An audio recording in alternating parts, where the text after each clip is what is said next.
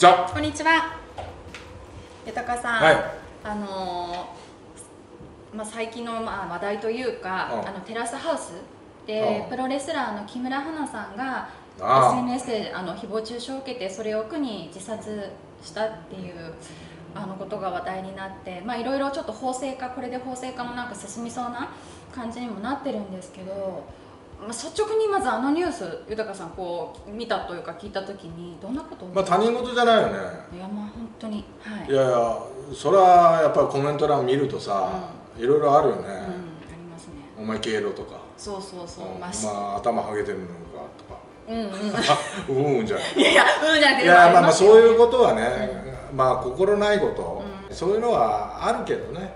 と、うん。まあそれもあるけどまあ励みにもする時もあるし、うんなんか心がぐさっとくる時もあるな、うん。で野球ってヤジあるじゃないですか。そのヤジとまたその文字だけって温度差がある。全然違いますよね、うん。そのヤジって聞き流せる部分だってもう聞き流せない部分ももちろんあると思うんですけどどうでした、俺ら？うん、やっぱ慣れたな。最初は？いややっぱ最初はさなんだと思うよ。でもそれ言ってる人たちは何パーセントにしか過ぎないからね、うん。数パーセント。うんうん。10%もいってないぐらいの、まあ、そういう人たちが書いてるのかもわからないけど、そうなんかみんながそう言ってるみたいなうん。そういう錯覚に落ちるんだよね。そうなんですよね、でも、うん。応援してくれてる人はたくさんいて、そっちの方が逆に多いんだけどうん。だけどそこがなんかこう注目されるというかさ。だからあのよく言われるのは100いいことを言われるよりやっぱり一つのその傷つく言葉言われることの方が辛いっていうその100いいことより一つの嫌なことの方をやっぱ人間ってすごく敏感に感じ取りやすいっていうふうに。いやそりゃそうだよね、うん。そこはやっぱもう気になるところだよね。だから見てるコメントなんかババ消えろとか。ババア？いや何あありますよねありますショックだろ。いやショック俺今日来ないかなと思ったもん。何？最近誰かか書いたんですか？こんなさなかにそんな人いるんさなかに書くなんか動揺してんだけいやわどかんない。わかんないけど。嫌ですよ。それ嫌ですよ。嫌だよな。いや気にしないようにとかねそんなに私は落ち込む方ではないんでそれでもやっぱ死ねとかなんかババア会ったこともない人にババアとか失せろとかやっぱそれはそれはないな。この人友達いるのかなとかこの人日常生活でもこういう言葉をいろんな人に使ってるのかなとか。いやだから自分の所在がわからないからそういうふうに言ってるんだろうと思うけど、まあそうですね。まあまあまあまあでもそういう人間もいるということだよね。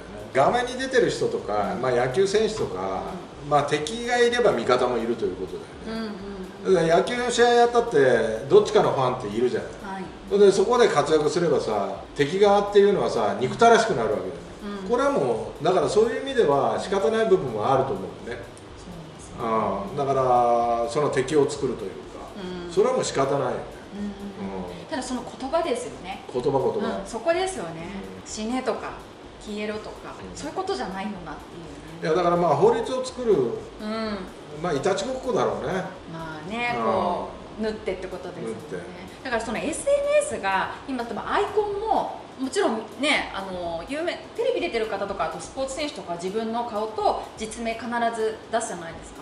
でも一般の人ってそのアイコンも他人のだったり自分の可愛がってる犬だったり名前もニックネームだったりするので本当どこの誰だか。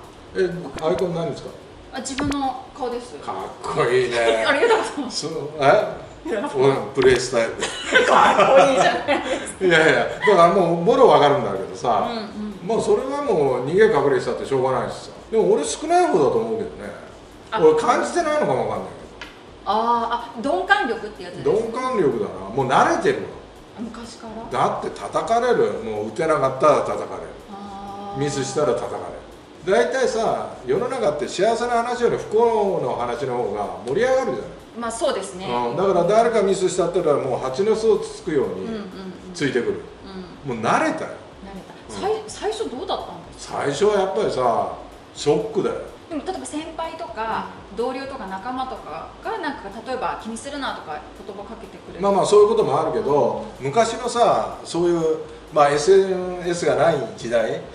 あの新聞記者なんかさあのみんなで集まってあいつがエラーしたけどあいつ一生懸命やってんじゃんって。うんうん。これ聞いたことあるんだけど、はい。一緒に飯食いながら。はい。いやだからもうここのぐらいの記事にしとこうよってみんなそうやって選手を守ろうとしてくれたんだけどは今はさなんか荒探しをしてるよねみんな。いなんか足どこが悪かった？あそこが悪いとかさ。うん。そうですね。褒める記事がないんだよ今。だからそれが SNS に移行してるというかさ。うん。なんかそんな感じがするな。でもヤジといえばあれと赤星さんでしたっけ？あのヒーローインタビューのヒーローインタビュー。に 切れたっていう。うんこうやって答えてるのが「分かってんだてめえ!」とか言って 言ったんだけど。いや俺はもなんかこう打てなかった、一塁側ベンチにこう帰るときに「あこれ打ったんかよあんなハゲ頭」みたいなこと言われて、うんはい。まだ現役の時だよ。ありましたよね。あった、うん。あったんだよ。うん。でもこうやってヘルメット脱いで、うん。トイレの鏡でこうやってちょっと確認してるんだよ。ハゲてるかなみたいな。だから気にするんだよ。傷つくんですよやっぱり。傷つくんだよ。今言われたって、ん。そうだよみたいな逆に開き直れるけれどいやバカも野郎お前何言ってんの？いやいや。いやそうですよいやそうなんだよ、だうんだからまあ若い選手ほどやっぱちょっとショックだよね。でやっぱあのプロレプロレスラーの子もなんか自分のツイッターでそんなことは自分が一番分かってますみたいなさ、うん。書いてたけどなんかあれを見るとかわいそうでしょうがないな。かわいそうだしあと我々出る方ってその番組での自分の立ち位置とか自分の役割探すじゃないですか。自分のキャラクターはこうじゃないんだけれども求められてることはこういうことなんだろうなって思うとそういう発言とかそういう演じるっていうことをやるじゃないですか。まあ演じるよな、はい、でも見てる側はあそれイコールこの子のキャラクターなんだっていうまあ作り上げちゃうからな。っていうそこもそうですよね。言葉って残るからね覚えてますずよね？ーっと。で言われた方はずっと覚えてますよね、なあ。うん、言った方は忘れてるかもしれないんですけど。なあ。うん。だからまあこれをまあ法律ができるかもわからないんでしょ？はいそうなんですよね。ねでも法律ができたからってどうなんだろうね。なくなるのかな？いやーでもなくならないでしょうね。あの手この手で言いたい人は多分いろんな手段で使ってきたりまた違う偽アカウントとか作ったりとかするのかな。でもね林先生がいるでしょ。はい。いつやるのって今でしょって。うんいう、はい。あの人のちょっと話を聞いたことがあって、その人は批判を見るんだって。で拍手の仕方、うん。最初はこうやって拍手してたんだって、はい。そしたら「お前どれだけ偉いんや」っていう書き込みがあったんだって。うん「え拍手で言われんの?」って。うん。でどうやったらいいのかなって言ったらで自分で考えたの。そしたら手をもうちょっと近づけて細かくこうやってやると、んあなんかすごく好感持ってない？こうやってやるのと、あはいはい。こうやってやるのとじゃん、うんうんうん。そうでしょ、うんじゃあ同じ拍手をするんであればそうしようっていう。だから人から見てそういうふうに見られてるんだったら、うん。反省するっていうことも大事だよね。あもちろん時にはそうです時にはそうだよね、ん。だから林先生っていうのはそういうふうに自分の見せ方を変えようとしてるという。うんうんだからそういう有効にしようとしてる人がいる。うん。一方で言われたことをもろ受けてうん。落ち込む人もいる。うんね、だからこれはまあ書く方もそうだけど受け取る方の人間も、まあ、そういうふうにちょっと変えていったらいいのになっていうふうには思う時もある。そうマインドってことですよね。そうそうそうそう。うんただね100件超えるとこれは落ちるわ、いや落ちますね。1件でも落ちるのに100件はもうなんかそう思いますよね。なんか人格否定というか。いや本当存在ごと消えた方がいいのかなとかね。だから俺は森藤のところは消してるもん。そんなにいっぱいある本当ですか？奇跡の40代とか言われてるから。あこれはこれはいいことなのか悪いことなのかって。いやいい奇跡の40代って。どっちなんだみたいな。これは消していいのか消してよくないのかまあ消しはしないけどね、はいはい。消したりとかせっかくか書き込んでくれてるからねね。消しはしないけどね。うん。でもなんか書いてる人たちと一回会ってみたいですね。いや会わない方がいいよ。だってなんか書いてるやつほど弱々しいから。あまあそういうのもあるんですかね、そういうげそういうこの中だから、うん。SNS の中だからこう強くなれるみたいな部いや分それはそうすかね。ううん。強いやつは書かないからそうですね。あと優しい人とか。そうそうそうですよね。だからあの弁護士がたどっていって、その誹謗中傷するやつをはい。訴えようと思ってたどっていったら、もう本当なんか弱々しいやつが出てきあやっぱそうなんたいだやななんかまあそういう実例があるみたいなんだけどああとあアイドルの子になんかあの誹謗中傷してあのねあの辿っていったら女性だったっていう二人。あああだからあれだ女性やられるぞ。い や 30, 30代かなんかね30代近いじゃないですか30い代やだからも。う羨ましくて。